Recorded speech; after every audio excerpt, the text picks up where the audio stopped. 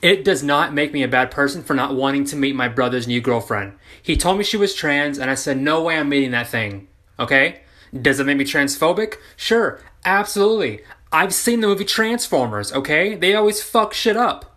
I'm extremely cautious. Plus, he's probably dating a damn Decepticon because he's into bitches. One minute, we'll be in the living room having a nice conversation. Next, she might fucking transform into a predator drone and blow up my house. Then I won't get the deposit back. Plus, I have dogs.